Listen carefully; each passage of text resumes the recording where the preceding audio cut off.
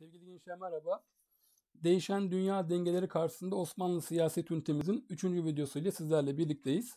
Nerede kalmıştık? 17. ve 18. yüzyıllarda Osmanlı Devleti'nde ve Avrupa'da denizcilik faaliyetleri başlığıyla konularımıza devam edelim. Hemen bu başlık altında sömürgeciliğin tanımı dikkatimizi çekiyor. Nedir sömürgecilik? Bir devletin kendi toprakları dışında kalan diğer toprakları başta askeri müdahale olmak üzere çeşitli yollarla ele geçirmesi ve orada özellikle siyasi, iktisadi ve kültürel alanlarda üstünlük sağlamasıdır. Yani o bölge aslında o bölgenin her türlü imkanlarını kendi menfaatleri doğrultusunda yağmalamalıdır. Gençler siyasi, iktisadi ve kültürel demiştik ya özellikle hangi alanda o bölgeyi sömürmüşlerdir? O bölgeyi özellikle iktisadi yani ekonomi anlamında sömürdüklerini de söyleyebilirdik. Peki sömürgecilik hangi olaydan sonra hız kazanıyor gençler? Sömürgecilik coğrafi keşiflerle birlikte hızlanıyor. Ve bizler biliyoruz ki önceki derslerimizden coğrafi keşiflere başlayan iki ülke hangi ülkelerdir? İspanya ve Portekizler'dir sevgili gençler. Peki hocam İspanya ve Portekizler bu gücünü yani sömürge imparatorluğu kurmuşlar. Bu güçlerini devam ettirebilmişler mi? Hayır sevgili gençler. Tabii ki İspanya Amerika kıtasında 16. yüzyılın sonlarında o bölgeyi sömürerek zenginleşiyor ama ilerleyen zamanlarda özellikle İngiltere ve Hollanda'nın devreye girmesiyle birlikte İspanya ve Portekiz'in de gücünü bu iki devlet kırıyor. Ama daha sonrasında Hollanda'nın da gücünü kırdığı yerde özellikle İngiltere üzerinde güneş batmayan ülke ünvanını kendi üstüne alıyor ve dünyadaki sömürgelerinden çok önemli ne elde ediyor gençler? Çok önemli gelir elde ediyor. Sevgili gençler bakıyoruz ki gün oluyor.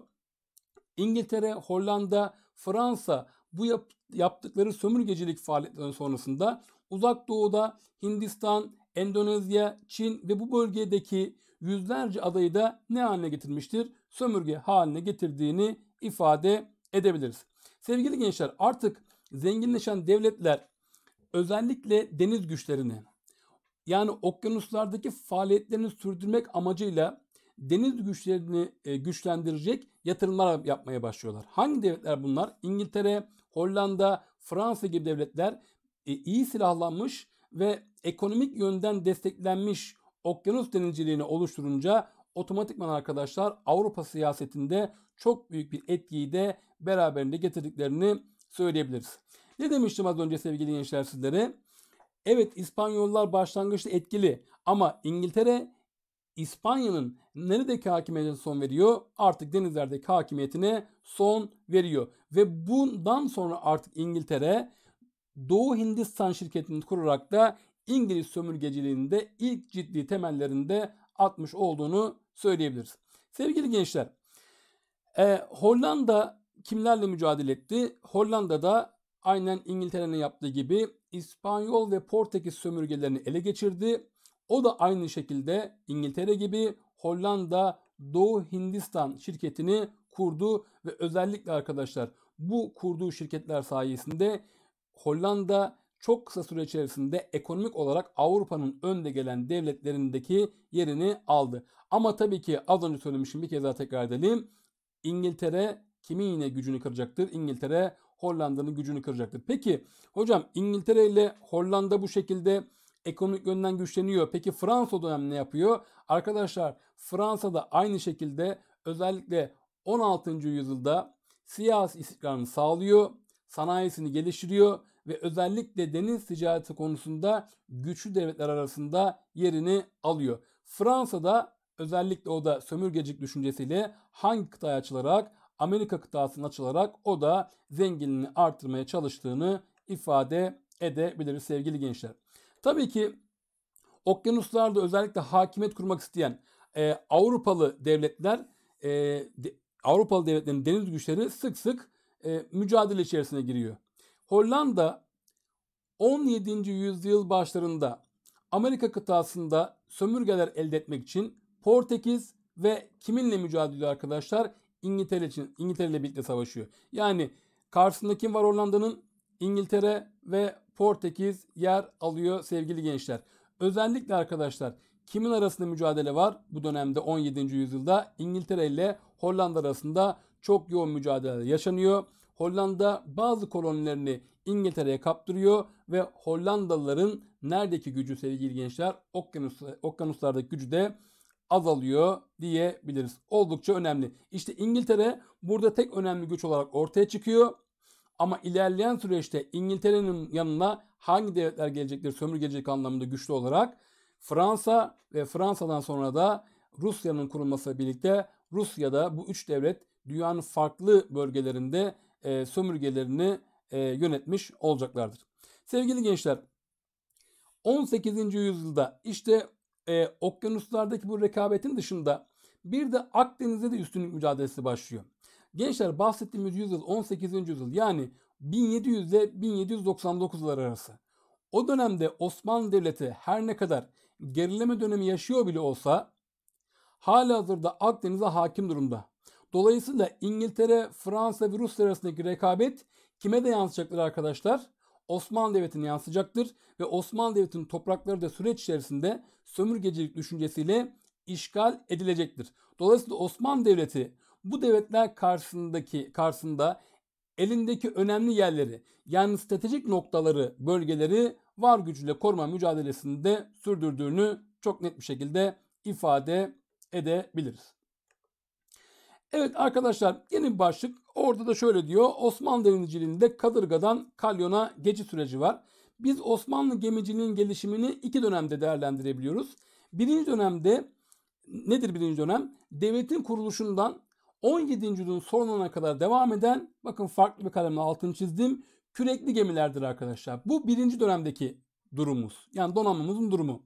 İkinci dönem ise 19. yüzyılın ortalarına kadar süren hangi dönemdir arkadaşlar? Yelkenli gemiler dönemidir.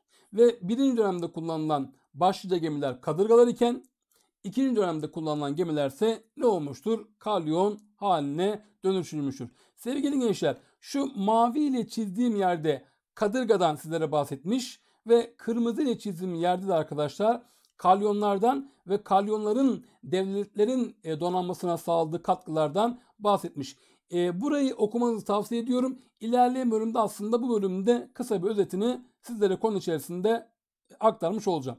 Gençler Avrupalı devletler özellikle Atlas Okyanusu'ndaki güçlü gelki takıntıları ve rüzgarlar nedeniyle kadırgalarla ne ticaret yapabiliyor ne de savaşabiliyordu. İşte 15. yüzyılın sonlarından itibaren Avrupa'da bilimde ve teknik alanda gelişim asker alana da yansıyor ve okyanus gemiciliği de gelişiyor. Bir bakıyoruz ki arkadaşlar Avrupalı devletler yelkenli gemileri geçerek özellikle kalyonları birer top bataryasına dönüştürüyor. Böylece deniz savaşları yepyeni bir nitelik kazanıyor arkadaşlar. Yani kalyonlara sahip olan e, donanmalar, kalyonlara sahip olan e, devletler çok önemli üstünlük sağlıyor rakiplerine karşılık. Gençler 16. yüzyıl sonlarından itibaren Akdeniz'e gelen İngiltere ve Hollanda'nın kalyonları kadırgalara üstünlük sağlayarak sevgili gençler Akdeniz'e ne olmaya başlıyor artık? Akdeniz'e hakim olmaya başlıyor. Sevgili gençler yine söylüyoruz bu dönemde Osmanlı Devleti e, zayıf durumda olmasına rağmen yine arkadaşlar Akdeniz'in hakim olarak da tarihteki yerini almıştır. Gençler özellikle İngiltere ve Hollanda'dan bu Akdeniz'de etkili olan kalyon gemilerini kiralayan Venedikliler Girit kuşatma sırasında Osmanlı donanmasını uzun süre oyalamışlardır arkadaşlar. Hatırlayın lütfen 1645'te başlayan ve 1669'da sona eren yani yaklaşık 24 yıllık bir kuşatma sonrasında bizler ancak Venediklerin elinde bulunan Girit adasını alabildik. İşte bizler e, Venediklerin elindeki kalyonlar karşısında biraz aciz kalınca arkadaşlar Osmanlı devlet adamları kalyon inşasına karar veriyor ve böylece Osmanlı Devleti'nde de Kadırga'dan kalyona geçiş süreci de başlamış olduğunu ifade edebiliriz. Yani aslında baktığımız zaman sevgili gençler bu 24 yıllık kuşatma sırasında yaşadığımız sıkıntı e, özellikle e, donanma stratejisinde Osmanlı Devleti içinde bir dönüm noktasını oluşturduğunu ifade edebilirsin. Sevgili gençler şu e, başlık altında e, anlatacağım konuların bir kısmını ilerleyen derslerde anlatacağım. E, burayı bir özet olarak e, değerlendirelim. E, ilerleyen konularda detaylı bir şekilde sizlere bahsedeceğim. Sizler için önemli olan yerleri. Ne diyor başlıkta? Osmanlı Devleti'nin denizlerdeki egemenliği zayıflıyor. Sevgili gençler 16. yüzyılda Akdeniz'in tamamına yakınında Osmanlı Devleti hakim durumda. Hatta bakıyoruz sevgili gençler Osmanlı Devleti'nin nüfuz alanı. Nüfuz derken ne demek istiyoruz sevgili gençler? Bunları zaman söylüyorum. Sonu Z ile yazılıyorsa Zonguldak'ın Z'si ile nüfuz sahası ne demektir?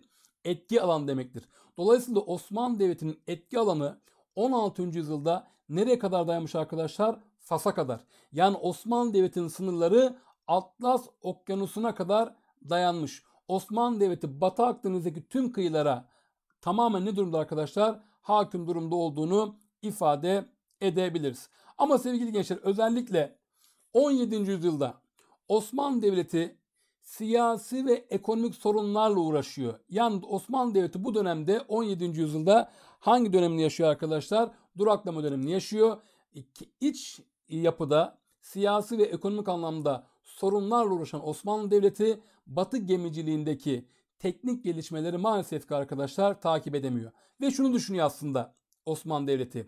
Siyasi hedeflere sanki sadece kara kuvvetiyle ulaşabileceğini düşünüyor sevgili gençler. Bundan dolayı donanmayı kullanma ya da geliştirmede geç kalıyor. Hemen burada bir örnek verelim, bir karşılaştırma yapalım. Sevgili gençler, Rusya özellikle 18. yüzyılda bir devlet olarak dünya siyasetinde söz sahibi olmaya başladığında Çar Petroş'un diyor Rusların kurucusu, Rusya'nın kurucusu.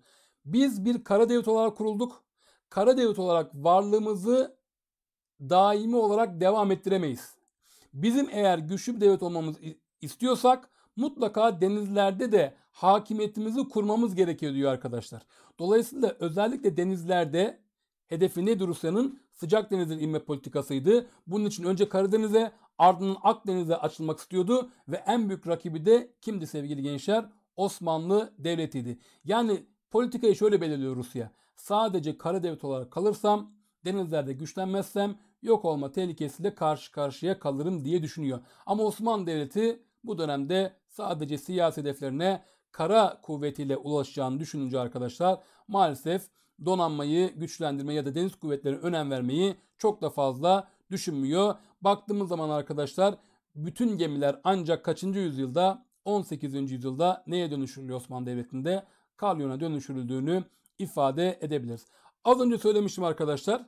İşte 1645 ile 1669 yılları arasında Girit kuşatması 24 sene sürüyor. Bu yıllar arasında 1656 yılında Çanakkale Boğazı önünde yapılan savaşta Osmanlı donanmasındaki kalyonların çoğu arkadaşlar kimin eline geçiyor? Venediklerin eline geçiyor arkadaşlar. Bunun sebebi nedir biliyor musunuz? Özellikle bu yenilgideki ana sebep kalyon kullanımının ayrı bir hüner yani ayrı bir maharet istemesi ve Osmanlı kalyonlarında görevli mürettebatın yani deniz kuvvetlerinin arkadaşlar ne olması maalesef tecrübesiz olması bu kuşatmanın uzun sürmesine sebep olduğunu ifade edebiliriz. Sevgili gençler hatırlayın lütfen önceki derslerimizden. Ee, bizler 1683 ile 1699 yılları arasında Avrupa'da kutsal ittifak devletleriyle savaştık. Ve bu savaşların sonucunda Karlofça Antlaşması'nı imza ettik arkadaşlar. Karlofça Antlaşması tarihimizi imzaladığımız ağır antlaşmalardan bir tanesi. Osmanlı donanması Karlofça Antlaşması ile Venedik'e verilen sevgili gençler Mora'yı 1718 Pasaroş Antlaşması'nda geri alıyor. Bu geri almada özellikle deniz kuvvetlerine yaptığı revize etkili oluyor. Yani deniz kuvvetlerinde kalyona geçiş süreci Mora'nın alınmasında oldukça etkili olduğunu düşünebiliriz. Ama ilerleyen süreçte arkadaşlar e, ne zamana kadar donanmamızın yine bu derste size anlatacağım. Donanmamızın 1770 yılında Ruslar tarafından Çeşme'de yakılmasına kadar arkadaşlar kalyonculuk Osmanlı Devleti'nde de bir gelişme göstermiş ve Osmanlı Devleti Akdeniz'deki hakimiyetini elinde tuttuğunu söyleyebiliriz. Sevgili gençler yine anlatacağım yer ama buraları demişim sizlere özet geçelim diye. 1700 İstanbul Antlaşması'yla hatırlayın lütfen Ruslar Azak Kalesi'ni ele geçirerek ilk defa nereye çıkma fırsatı elde ediyor? Karadeniz'e. Gençler Karadeniz'e çıkması demek Rusların Osmanlı Devleti'nin hem Karadeniz'deki varlığını te- için tehlike oluşturuyor hem de ilerleyen süreçte Osmanlı Devleti'nin Akdeniz'deki varlığı için de tehlike oluşturacaktır. İşte sevgili gençler 1711 yılında Prut Savaşı'nın kazanılmasıyla birlikte Osmanlı donanmasının Karadeniz'de gösterdiği faaliyetler sonucunda bizler nereye geri aldık? Azak Kalesi'ni Ruslardan geri aldık. Ve işte Rusların e, özellikle saldırgan politikaları 18. yüzyıl boyunca devam ediyor. 1768 ile 1774 yılları arasında Osmanlı-Rus Savaşı yaşanmakta. İşte az önce bahsettiğim durum 1770 yılında Ruslar geliyor arkadaşlar Çeşme e, limanındaki Osmanlı donanmasını yakıyor arkadaşlar. Ki bu donanma yangını e, Osmanlı tarihinin ikinci e, donanma yangıdır arkadaşlar. Toplamda 4 donanma yangını vardır. E, ilki İnebahtı Deniz Savaşı'nda, ikincisi Çeşme'de, üçüncüsü ilerleyen konularda bahsedeceğiz ama yeri gelmişken söyleyelim. Üçüncüsü Navarin'de arkadaşlar ve dördüncüsü de Sinop'ta. Yani toplam 4 kez Osmanlı donanması yakılmıştır tarihimizde ve bunların arkadaşlar üçünde yani Çeşme'de, Navarin'de ve Sinop'ta arkadaşlar her üçünde de Rusların parmağı olduğunu, Rusların etkisi olduğunu da söyleyebiliriz. Gençler Çeşme yangından sonra, Çeşme baskından sonra özellikle 3. Mustafa e, Avrupa'da örnek alınarak e, çeşitli e, ıslahat girişimleri bulunuyor. E, ki yeri gelmişken söyleyelim 18. yüzyıl artık Osmanlı Devleti'nin Avrupa'nın gerisinde kaldığını anladığı dönem oluyor ve özellikle Avrupa'dan donanımlı uzmanlar getiriliyor. İşte Baron de Tot isimli Fransız mühendis donanmayı iyileştirme çalışmaları konusunda bu dönemde Osmanlı Devleti'nde görevlendirilmiştir. Bununla birlikte dönemin ünlü paşalarından biri olan Cezayirli Gazi Hasan Paşa da 1773 tarihinde Tersane Hendeshanesi adıyla bugünkü neyin temelini atıyor sevgili gençler? Bugünkü Deniz Harp Okulu'nda temellerini attığını söyleyebiliriz. Ve önemli bir nokta tabii ki 1768-1774 Osmanlı-Rus Savaşı'nı işlerken ve Küçük Kaynarca Antlaşması'nı anlatırken buradan bahsedecekmişim, bahsedecektim ama yeri gelmişken söyleyeyim sevgili gençler.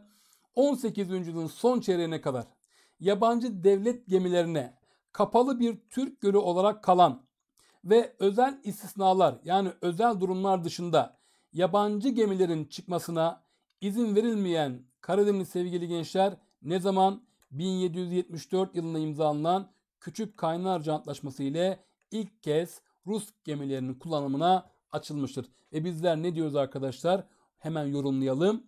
Bu olayla birlikte Karadeniz Türk Gölü olma özelliğini kaybetmiştir yorumunu net bir şekilde yapmalıyız sevgili gençler.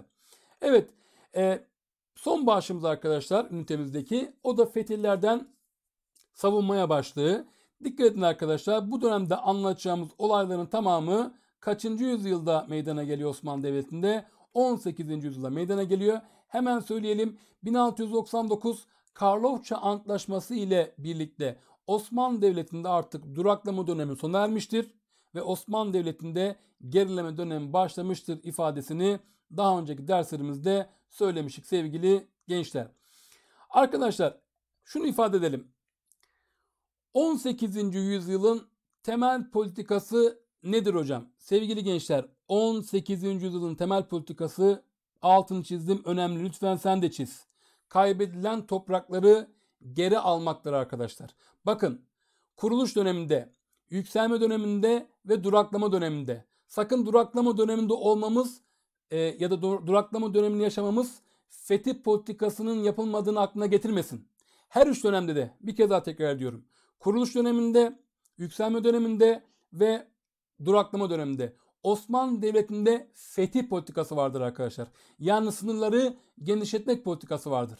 Ama 18. yüzyıla geldiğimiz zaman yani Osmanlı Devleti'nin gerileme döneminde temel politika ne oluyor? Kaybedilen toprakları geri almaya çalışmak oluyor. İşte bu amaçla Osmanlı Devleti 18. yüzyılda sevgili gençler kimlerle mücadele etmiştir batıda? Rusya'yla, Venedik'le, Avusturya'yla ve yüzyılın sonunda arkadaşlar 1798 yılında Fransa ile Mısır'ın işgali sırasında mücadele etmek zorunda kalmıştır. Peki hocam doğuda kim var? Doğuda da Safevilerle yani İranlarla mücadelemiz olacaktır 18. yüzyılda. Sevgili gençler bakın hemen bu yan tarafa başlık yazdım. Normalde böyle düz yazı gibi anlatmış kitabımız ama ben yanları hep böyle başlık belirttim. Sizler de lütfen o şekilde başlık olarak yazın. Hemen şu kısma 1711 Prut Savaşı deyin ya da 1711 Osmanlı-Rus Savaşı deyin. Aç parantez Prut Savaşı ve Prut Antlaşması olarak da yazabilir sevgili gençler. Hatırlayın lütfen 1700 İstanbul Antlaşması'yla Ruslar çok önemli haklar elde ediyor arkadaşlar. Mesela Azak Kalesi'ni Osmanlı Devleti'nin elinden alıyordu ve böylece Karadeniz'e açılmak konusunda önemli bir kaleyi el, eline geçiriyordu. İkinci madde ne vardı arkadaşlar? Ruslar İstanbul'da elçi bulundurma hakkını elde ediyordu sevgili gençler. Bütün bu aldığı hakları yeterli görmeyen Rusya Avrupalı devletlerden Osmanlı Devleti'ne karşı savaş ilan edilmesini istiyor. Ancak bu çağrı e, çok böyle olumlu yanıt almıyor diğer Avrupa devletleri karşısında. Ve Rusya da tek başına bu dönemde Osmanlı Devleti ile savaşmayı da göze alamayınca nereye yöneliyor arkadaşlar? Baltık Denizi'ne yöneliyor.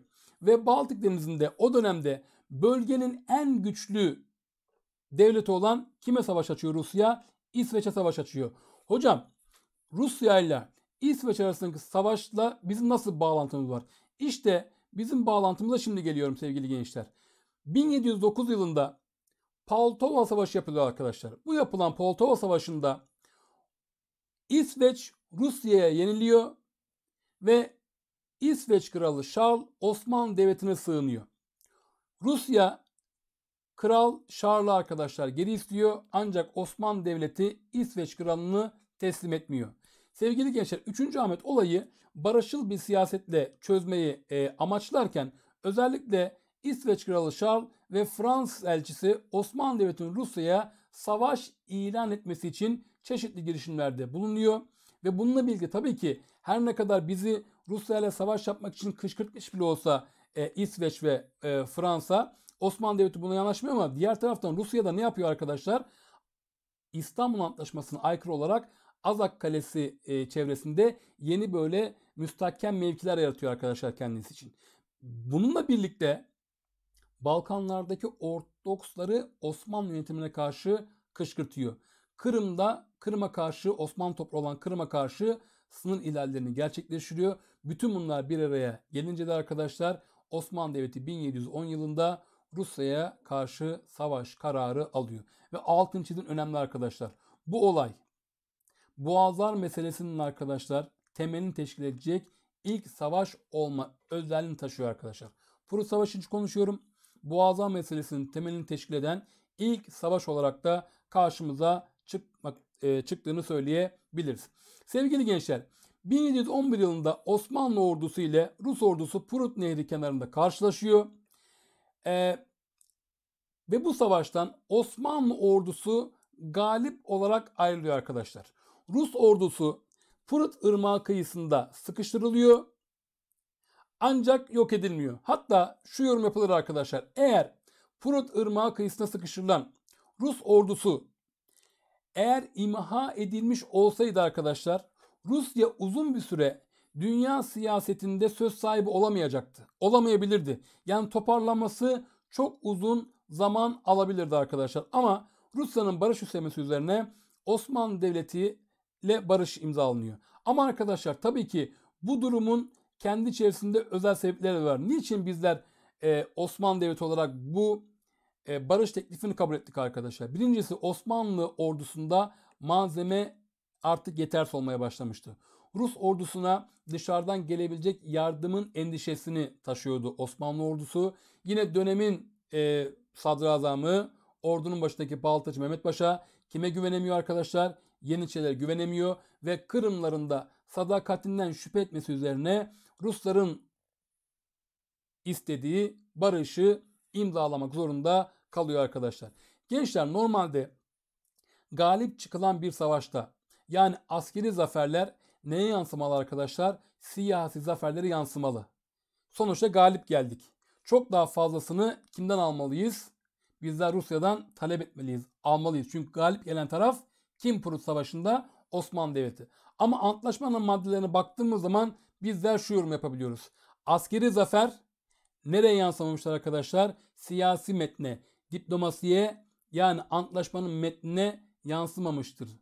Yorumunu çok net bir şekilde yapabiliriz. Sevgili gençler 1711 Prut Antlaşması ile birlikte Ruslar işgal topraklardan çekiliyor arkadaşlar. İstanbul Antlaşması sonrası inşa ettiği kaleleri yıkacağına dair söz veriyor. Osmanlı Devleti'nin içlerine karışmayacak. Hatta 1700 İstanbul Antlaşması'yla açılan elçiliğini de geri çekmesini arkadaşlar bu antlaşmayla kabul ettiriyoruz. Ve diyoruz ki arkadaşlar İsveç Kralı Charles serbest bir şekilde ülkesine dönüş yapabilecek. Sevgili gençler bu dönemde bile şu maddelere baktığımız zaman Osmanlı Devleti'nin dünya siyasetinde söz sahibi olduğunu olduğu yorumunda yapabiliriz. Gençler bakın buraya bir not düşmüşüm.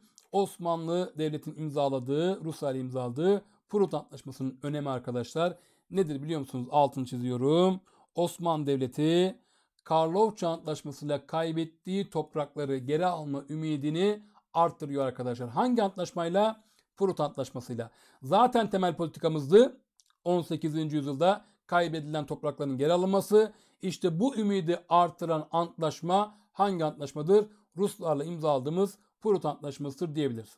Hemen Prut sonrası gelişmeler başlığını arkadaşlar başlığın yanına sizin için başlığa yazdım. Oraya da şöyle yazalım. 1715-1718 Osmanlı Venedik Avusturya Savaşları başlığını atabilirsiniz sevgili gençler. Arkadaşlar e, bu dönemde biliyorsunuz bizler Mora'yı kime teslim etmek zorunda kaldık arkadaşlar? Mora'yı Karlofça Antlaşması'yla Venedik'e bırakmak zorunda kaldık. Özellikle Venedik'in uyguladığı Katolik baskı Roma'da e, Mora'da yaşayan e, Protestan ya da Mora'da yaşayan sevgili gençler diğer mezhepten kişiler için sıkıntı yaratıyor. Ve bundan dolayı bu Katolik baskı sebebiyle yani Venediklerin uyguladığı Katolik baskı sebebiyle Mora halkı Osmanlı Devleti'nden yardım istiyor arkadaşlar. Bununla birlikte tabi Venedikliler Doğu Akdeniz'de ticaret gemilerine ya da e, hac gemilerine de baskınlar düzenliyor. İşte Osmanlı Devleti bütün bu sebeplerden dolayı Venedik'e 1714 yılında savaş ilan ediyor ve 1715 yılında geldiğimiz zaman arkadaşlar Mora ve çevresindeki adalar kimden geri alınıyor? Venediklerden geri alınıyor. Şimdi gençler şöyle bir şey düşünelim. Osmanlı Devleti 1711 yılında Prut Savaşı'nı yapmış ve Azak Kalesi'ni geri alıyor. Dolayısıyla Azak Kalesi'ni geri almakla ne oluyor arkadaşlar? Ee, Karadeniz'de etkisini arttırıyor. 1715'e geliyoruz.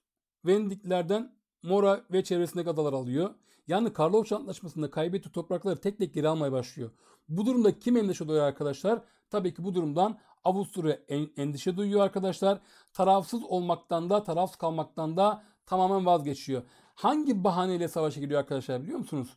Karlofça Antlaşması'nın garantör devleti olması maddesini kullanarak kimin yanında e, savaşa giriyor? Venedik'in yanında Osmanlı Devleti'nin karşısında savaşa giriyor arkadaşlar ve bizlerin yani Osmanlı Devleti'nin Avustralya yaptığı Peter Varadin Savaşı'nda Osmanlı ordusu bozgun uğruyor arkadaşlar. Yani Avusturya ordusu Osmanlı ordusunu Peter Varadin Savaşı'nda yenilgiye uğrattığını söyleyebiliriz. Ve bu savaşın sonucunda arkadaşlar e, Belgrad'ı kaybetmek durumuyla karşı karşıya kalıyoruz. Çünkü Avusturya ordusu ilerleyişini sürdürüyor ve Belgrad ele geçiriyor. Sevgili gençler Belgrad'ın nasıl bir önemi var biliyor musunuz? Belgrad çok kilit bir coğrafyada, kilit bir noktada. Yani e, Belgrad'ın kaybedilmesi demek artık Avusturya'nın Osmanlı Devleti'nin Balkan topraklarında hakimiyetini arttırması anlamına geliyor. Bundan dolayı e, Belgrad'ı bizler Pasarofça Antlaşması ile birlikte artık kaybedeceğiz. Ama tabi ilerleyen hemen bu dersimizde ilerleyen bölümde anlatacağım. Bir başka antlaşmayla Belgrad'ı geri alacağız. Sevgili gençler İngiliz ve Hollanda elçilerinin girişimiyle Osmanlı Devleti ile Avusturya arasında 1718 yılında Pasarofça Antlaşması imza ediliyor. Dikkat edin arkadaşlar bizler Pasarofça Antlaşması'yla Belgrad, Semendire dahil Kuzey Sırbistan ve Temeşvar gibi yerleri Avusturya'ya bırakmak zorunda kalıyoruz. Tabi bu durumda Osmanlı Devleti'nin en fazla üzen e, kaybı en fazla uzayan yerde arkadaşlar neresi oluyor? Az önce söylemiştim. Stratejik bakımdan önemli nokta olan Belgrad'ın kaybedilmesi üzüyor. Avusturya başka başka haklar da elde. Nedir bunlar? Osmanlı topraklarında konsolosluk açma ve çeşitli ticari imtiyazları da elde ediyor.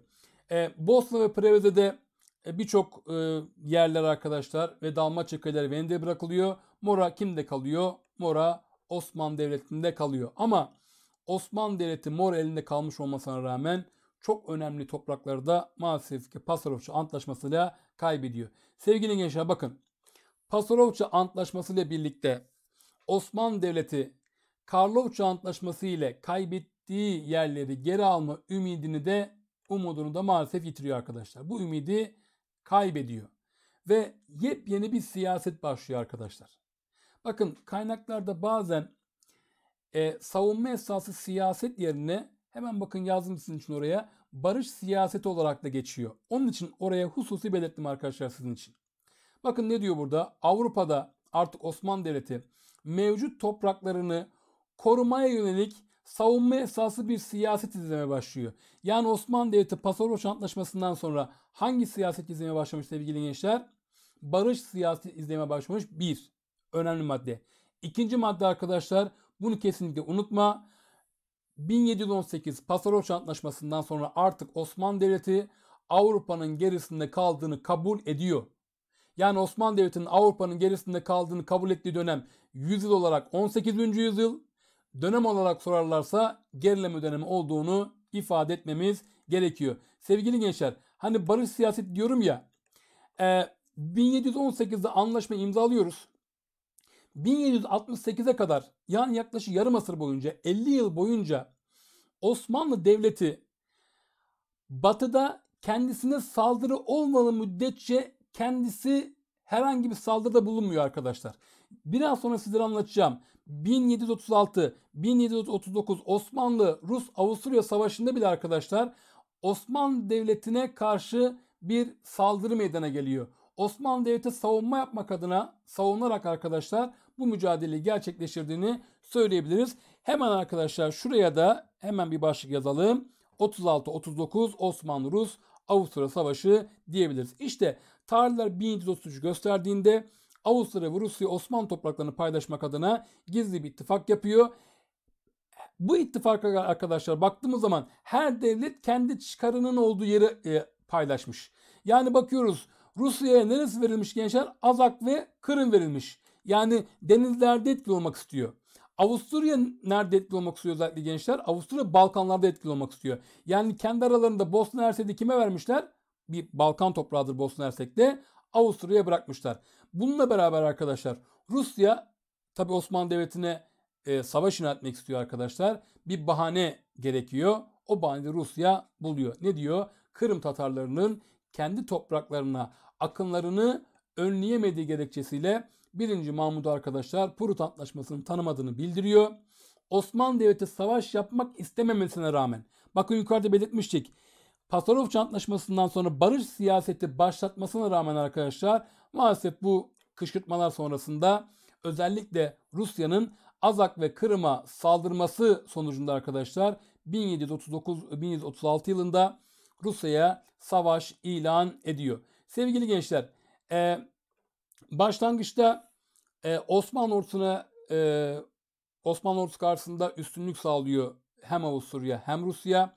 Ama e, ilerleyen süreçte arkadaşlar biz hem Rusya'ya karşı hem Avusturya'ya karşı bu dönem savaşlarından galip olarak ayrılacağız. Sevgili gençler şimdi şöyle bir soru gelebilir. Hocam e, hem gerileme dönemindeyiz hem 18. yüzyıldayız. Osmanlı Devleti orduda, donanmada Avrupa kadar güçlü veya Avrupa'da gelişmeyi takip edemiyor. Nasıl bu dönemde hem Rusya'ya karşı hem Avusturya'ya karşı üstünlük sağlıyor. Sevgili gençler, hani Avrupa'nın gerisinde kaldığımızı anlayıp özellikle savaşlarda da yenik olarak ayrılınca ne yapıyoruz sevgili gençler? Askeri alanda ıslahat girişimlerine başlıyoruz. İşte Humbaracı Ahmet Paşa'nın Humbaracı Ocağı'nda yaptığı ıslahatlar sonrasında Osmanlı Devleti 1736-1739 dönemi savaşlarında hem Rusya'ya karşı hem de Avusturya'ya karşı üstünlük kurmuştur sevgili gençler. Ve her iki devletle de hangi antlaşma imza edilmiştir? Her iki devletle de 1739 Belgrad Antlaşması imza edilmiştir. Sevgili gençler, Avusturya ile imza aldığımız Belgrad Antlaşması'na göre Avusturya Pasarofça Antlaşması'yla aldığı yerleri neresi dahil olmak üzere arkadaşlar? Belgrad dahil olmak üzere sevgili gençler Osmanlı Devleti'ne bırakmak zorunda kalıyor arkadaşlar. Ve yine Rusya'da arkadaşlar Azak Kalesi dahil işgal ettiği bütün yerleri 1739 Belgrad Antlaşması'nı imzalayarak Osmanlı Devleti'ne bırakıyor. Gençler önemli bir antlaşma. Birçok önem var. Onun için bu şekilde yazdım e, sizlere. Bakın ne diyor? Rusya Belgrad Antlaşması'yla Azak Denizi ve Karadeniz'de askeri ve ticaret gemi bulundurması yasaklanıyor. Gençler bakın bu maddenin yorumunu sizlere belirttim yan tarafta. Ne diyebiliriz? Karadeniz'in son kez Türk Gölü olarak ispatlandığı madde budur arkadaşlar. Yani Karadeniz'in son kez Türk Gölü olduğunun ispatlandığı antlaşma hangi antlaşmadır sorusunun cevabı Belgrad Antlaşması olması gerekiyor sevgili gençler. Ve şunu söyleyebiliriz. Belgrad Antlaşması ile birlikte Osmanlı Devleti Avrupa'da yeniden bir saygınlık yani yeniden bir itibar kazanmıştır yorumunu yapabiliriz. Ve yine bu antlaşma hangi antlaşmadan bahsediyorum sevgili gençler? Belgrad Antlaşması Osmanlı Devleti'nin 18. yüzyılda imzaladığı son kazançlı, son karlı antlaşma olarak da tarihteki yerini almıştır sevgili gençler. Hemen bir doğudaki gelişmelere bakalım sevgili gençler. Bu dönemde e, tabi bizler doğuda Safevilerle mücadele ediyoruz ve e, 4. Murat döneminde imzalanan Kastıç'ın antlaşmasıyla artık e, günümüz Türk-İran sınırının büyük ölçüde belirlendiği antlaşmayı imzalıyorduk. Ama ilerleyen dönemde tabii ki e, İran'da e, iç karışıklıklar yaşanıyor. İran'da Afgan ayaklamaları meydana geliyor ve bu siyasi bunalımdan faydalanmak isteyen iki devlet ortaya çıkıyor arkadaşlar. Biz zaten rakibimiz arkadaşlar. Yani doğuda İran'la mücadele ediyoruz ama Rusya da burada kendisini gösteriyor. Hem Osmanlı Devleti hem de Rusya İran'ın bu iç karışıklığından e, faydalanmak adına dikkatini nereye çeviriyor? Kafkasya ve Batı İran'a çeviriyor sevgili gençler. Çar Petro yani Rusya Kafkasya üzerinden harekete geçiyor. Derbent ve Bakü'yü işgal ediyor arkadaşlar. Tabi bu sırada Kafkasya'daki Müslümanlarsa o, e, kimin himayesi altına girmek istiyor? Osmanlı Devleti'nin himayesi altına girmek istiyor. Osmanlı Devleti de bu bölgeye sefere çıkıyor arkadaşlar. Tiflis'i, Revan'ı, Nahçıvan'ı, Tebriz'i ve Güney Azerbaycan'ı ele geçiriyoruz. Yani Batı İran'ın tamamını Osmanlı Devleti ele geçiriyor. Baktığımız zaman arkadaşlar hangi iki devlet Osmanlı Devleti ile Rusya aslında ne yapmıştır sevgili gençler? İran topraklarında etkili olmaya çalışmıştır. İşte bu ilerleyiş iki devleti karşı karşıya getiriyor. Çatışma başlayacağı sıralarda Fransa'nın ara buluculuğuyla birlikte sevgili gençler Osmanlı Devleti ile Rusya arasında 1724 yılında İran Mukasemenamesi imzalanıyor. Ya da daha bilindik ismiyle arkadaşlar 1724 yılında İstanbul Antlaşması imza ediliyor ki bu antlaşmanın önemini şöyle söyleyebiliriz. 1724 İstanbul Antlaşması Osmanlı Devleti ile Rusya arasında imzalanan ilk ittifak antlaşmasıdır diyebiliriz. Bu antlaşmanın da önemidir sevgili gençler. Yine 1732 yılında imzalanan bir antlaşma var sevgili gençler. Ahmet Paşa Antlaşması Safevilerle imzalıyoruz. Bizim e, daha önce yaptığımız seferlerde ele geçirdiğimiz e, Tebriz, e, Batı İran ve Azerbaycan'ı yeniden arkadaşlar kime bırakmak zorunda kalıyoruz? İran'a bırakmak zorunda kalıyoruz. Ama Kafkasya'da Osmanlı Devleti'nin hakimiyet devam ediyor. İşte sevgili gençler daha önce kazandığımız bölgeleri kaybetmemizin yorumunu şurada net bir şekilde yapabiliriz arkadaşlar. Yani Osmanlı Devleti daha önce kazanan toprakları 1732 Ahmet Paşa ile e, Ahmet Paşa Antlaşması ile kaybetmesi Osmanlı Devleti'nin diplomasi anlayışının hala zayıf olduğunu bize net bir şekilde ortaya koyuyor. Yani bu antlaşma savaşta kazanan Osmanlı Devleti'nin nerede kaybetmesine sebep oluyor? Maalesef ki diplomaside yani masa başında kaybetmesine de sebep olduğunu ifade edebiliriz. Arkadaşlar e, bu dönemde Şah Tahmas e, Safevilerin başında yani İran'ın başında E, Nadiran özellikle bölgede etkili bu Afgan ayaklamaların bastırılmasına etkili. Halkın ileri gelenlerini bir arada topluyor ve 1736 yılında kendisini şah ilan ediyor. Böylece sevgili gençler İran'da artık Safevi Hanedanlığı sona eriyor. Hangi hanedanlık başlıyor? Avşar Hanedanlığı'nın yönetimi artık İran'da başladığını söyleyebiliriz. Özellikle gençler Nadir Şah döneminde de Osmanlı-İran ilişkileri çok gergin olarak devam ediyor.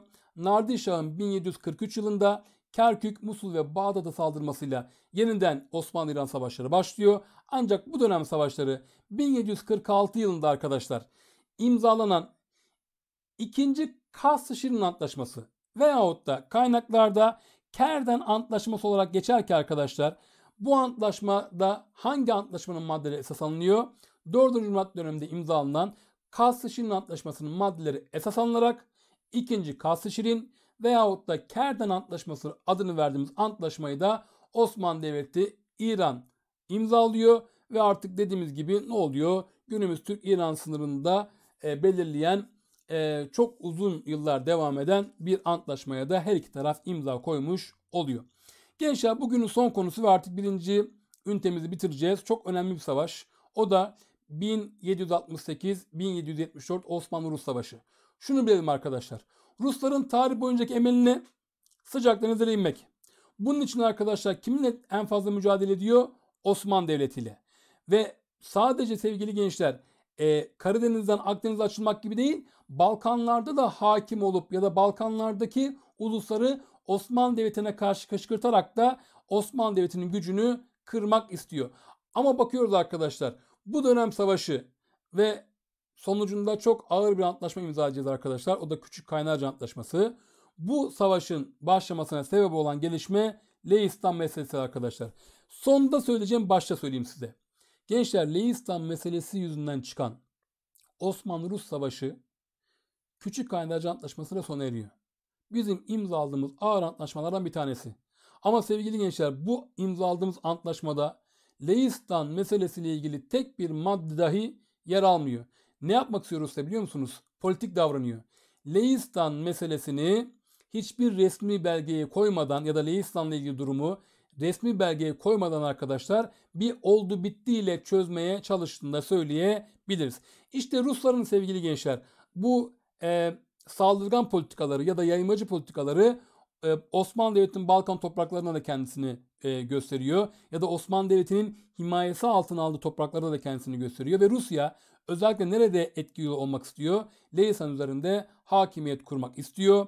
E, Leh Kralı'nın ölümünden sonra arkadaşlar kendi desteklediği adayını adayı Leh Kralı seçilince e, bazı Leh milliyetçileri ayaklanıyor ve Osmanlı Devleti'nden yardım istiyorlar arkadaşlar. Rusların yayımacı politikalarından rahatsız olan Kırım Hanı da sevgili gençler ne yapıyor? Osmanlı Devleti'ni Osmanlı Devleti'ni Rusya'ya karşı harekete geçmesi konusunda biraz da arkadaşlar kışkırttığını ifade edebiliriz. Sevgili gençler 1768 yılında bu gelişmelerle Osmanlı Devleti Rusya üzerine e, sefere çıkıyor. E, ancak arkadaşlar bu dönem savaşlarında Osmanlı Devleti e, Osmanlı Devleti'nin ordusu çok zor durumda kalıyor. Ne gibi sıkıntılar var? Aynı sıkıntılar aslında burada da baş gösteriyor. Ordunun sevk ve idaresindeki yetersizlikler, erzak hazırlığının yapılmaması yani iaşe yetersizliği, askerlerin maaşlarının zamanında ödenmemesi gibi sebeplerden dolayı e, Osmanlı kuvvetleri bu sebepler Osmanlı Devleti'nin kuvvetlerini çok zor durumda bıraktığında ifade edilir. Ama tam karşısında yer alan Rusya oldukça disiplinli ve hazırlıklı bir şekilde Osmanlı Devleti ile mücadele etmiştir. Gençler Rus ordusu Ukrayna, Azak ve Kafkasya üzerinden 3 cepheden Osmanlı Devleti'ne saldırmak için planlar yapıyor. Ve aslında Balkanlarda da en iyi yaptığı işlerden bir tanesini gerçekleştiriyor. Balkanlardaki Ortodoksları da kime karşı kışkırtıyor arkadaşlar? Osmanlı Devleti'ne karşı kışkırtarak Sırbistan'da, Karadağ'da, Eflak ve Boğdan'da ayaklanmalar tertip ediyor. Arkadaşlar bu dönemde bahsedilen bu ayaklama tertip edilen yerler kimin elinde arkadaşlar? Osmanlı Devleti'nin elinde. Rus orduları ilerlemesini devam ettiriyor ve günümüzde Romanya'nın başkenti olan o dönemde bizim toprağımız olan arkadaşlar nereye işgal ediyor?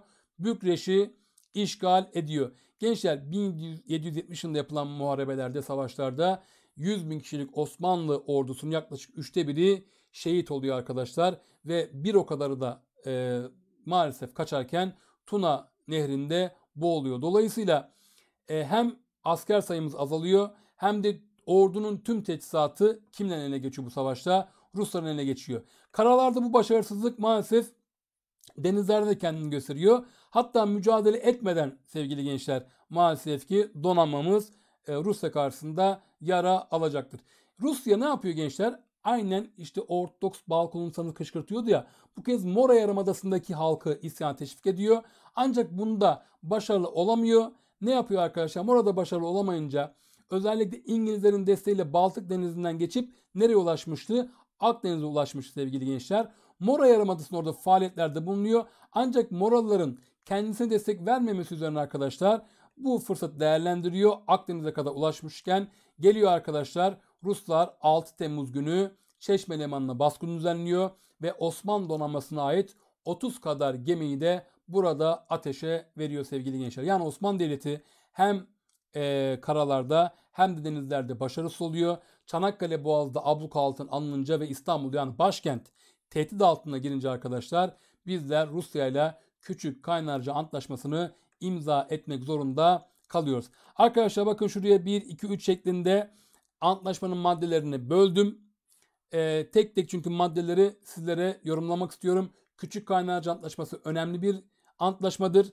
En az 5-6 tane ilki kendi bünyesinde barındırmaktadır arkadaşlar. İşte o ilklerden bir tanesi.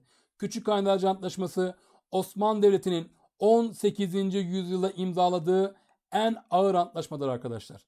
Bu önemi arkadaşlar. Yani en önemli özelliği diyebiliriz. Sevgili gençler bu antlaşmaya göre madde 1 ne diyor? Kırım diyor bağımsız olacak. Ancak halkı dini yönden Osmanlı Devleti'ne bağlı kalmaya devam edecektir maddesi var arkadaşlar. Bir kez daha söylüyorum. Kırım bağımsız olacak. Ancak halkı dini yönden Osmanlı halifesine bağlı kalacaktır maddesi var. Arkadaşlar ilk defa halife burada siyasi gücünü kullanmıştır arkadaşlar. Bu maddenin yorumunu şöyle yapabiliriz. Dini yönden Osmanlı Devleti'ne bağlı kalmasıyla Osmanlı Devleti Kırım'daki halkla kültürel bağın devam ettirilmesini istemiştir. Çünkü arkadaşlar Kırım halkının tamamı Müslüman ve Türk olan bir bölge. Ve ilk defa halkının tamamı Müslüman ve Türk olan bir bölgeyi kaybetmek zorunda kalıyoruz arkadaşlar. Kırım bağımsız oluyor Küçük Kaynarca Antlaşması'yla. Madde 2 arkadaşlar. Ne diyor? Rus ticaret gemileri boğazları kullanacak. Karadeniz ve Akdeniz'de serbestçe dolaşabilecek arkadaşlar. Hatırlayın 1739 yılında Karadeniz'in son kez Türk gölü olduğu ispatlanmıştı. Çünkü donanması artık ya da ticaret gemileri Karadeniz'e açılamıyordu Rusya'nın. Ama Küçük Anadolu Antlaşması'yla Karadeniz Türk Gölü olma özelliğini maalesef kaybetmiştir sevgili gençler. Madde 3. Rusya diğer devletlere verilen imtiyazlardan yani kapitülasyonlardan istifade edecek diyor. Osmanlı tarihinde bir ilktir arkadaşlar. Osmanlı Devleti Rusya'ya ilk kez hangi antlaşmayla kapitülasyon yani imtiyaz vermek zorunda kalmıştır? Küçük Kaynarca Antlaşması'yla kapitülasyon vermek zorunda kalmıştır. Gerekli gördüğü yerlerde konsolosluk açabilecek. Arkadaşlar zaten konsolosluğun açılması demek Osmanlı Devleti'nin iç işlerine müdahale etmesi anlamına da gelmektedir. Gelelim dördüncü maddeye arkadaşlar. Rusların İstanbul'da daimi elçi bulundurmasına bir Ortodoks kilisesi inşasına izin verilmiş. Ayrıca Rusya bu kilisenin himayesini üstlenmiştir. Rusya kutsal yerleri serbestçe ziyaret edebilmiştir. Arkadaşlar unutmayın. Küçük Kaynarca Antlaşması ile birlikte Ruslar Ortodokslar üzerinde söz sahibi olmuştur. Yani Ortodoksların neyini üstlenmiştir arkadaşlar? Koruyuculuğunu üstlenmiştir. Zaten bu durumla birlikte sık sık ne yapmıştır arkadaşlar? Bu maddeden istifade ederek Osmanlı Devleti'nin iç işlerinde karışmıştır. Gelelim arkadaşlar bir başka ilke. Osmanlı Devleti 4,5 milyon ruble savaş tazminat ödemek zorunda kalmıştır arkadaşlar. Unutmayın bir ilktir sevgili gençler. Osmanlı tarihinde ilk kez bir devlete savaş tazminatı ödenmiştir. Hangi devlet? Rusya. Peki hangi antlaşmayla sevgili gençler? Küçük Aydancı Antlaşması'yla. Eğer size dönem sorarlarsa o zaman da gerileme dönemi olduğunu lütfen belirtelim sevgili gençler. İşte az önce şu dördüncü maddede yaptığım yorumu bir kez daha altta sizler için anlatalım ve bugün konumuzda bitirmiş olalım. Ne diyor bakın gençler? Rusya Küçük Kaynarca Antlaşması ile İstanbul'da bir Ortodoks kilisesi inşa ederek burada ibadet buradaki ibadet yerlerini ibadet edenleri himaye altına alması hakkını elde ediyor. Küçük görünen bu taviz Rusya'nın daha sonraları Osmanlı Devleti'ne müdahale etme hakkını hakkına sahip olduğu iddiasının da neyini oluşur az önce söylemişim arkadaşlar? Gerekçesini yani bunu bahane göstererek Osmanlı Devleti'nin içlerine Rusya müdahale ediyor. Sevgili gençler Osmanlı tarihinde bir kez daha söyleyelim. imzalanan ağır antlaşmalardan bir tanesi Küçük Kaynarca Antlaşması ve Osmanlı Devleti'nin 18. yüzyılda imzaladığı en ağır antlaşmadır diyebiliriz. Sevgili gençler bu videomuzla birlikte artık birinci ünitemizin sonuna geldik. İnşallah yakın zamanda ikinci ünitemizin videolarıyla da karşınızda olacağım. O vakte kadar hepiniz hoşçakalın, sağlıcakla kalın.